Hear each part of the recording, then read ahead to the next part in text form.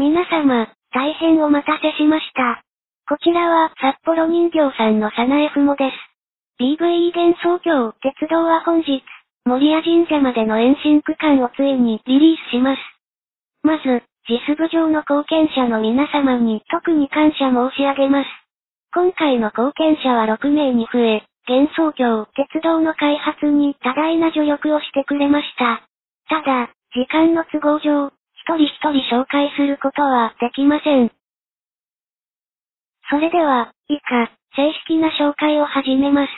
幻想郷鉄道は、東方プロジェクトの幻想郷にある架空の鉄道システムであり、BVE トレインシムを使用して再現されています。今回のバージョンには、環状線の白霊神社から森屋神社までの区間が含まれています。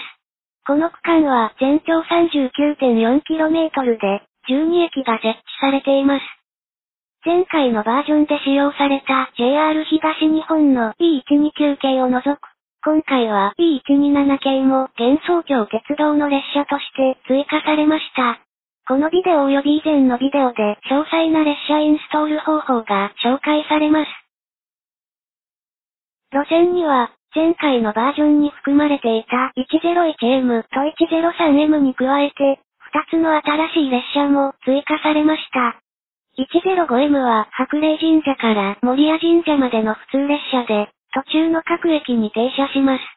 午前9時40分に白霊神社を出発し、10時1分に人間の里に到着し、10時24分に終点の森屋神社に到着します。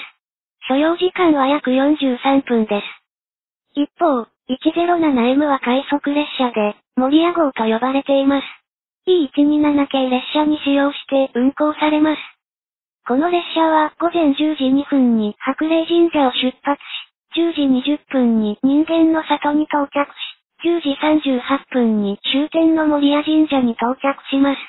所要時間は約36分です。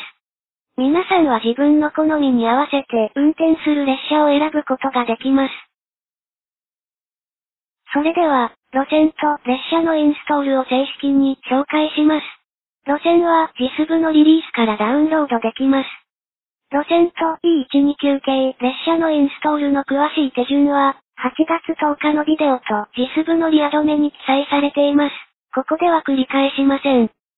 E127 系列車のデータは2次配布が許可されているのライセンスを採用したため、路線の中に含まれています。別途ダウンロードする必要はありません。路線に関する紹介は大体こんな感じです。このシミュレーション路線は現時点では白霊神社から森屋神社の区間のみを含んでいますが、将来的には延伸され、完全な鉄道システムが完成する予定です。もしご興味があれば、JIS 部でコードリポジトリを見つけることができますし、誰でもこのプロジェクトの開発に参加していただけます。以上が全てのコンテンツです。ご視聴ありがとうございました。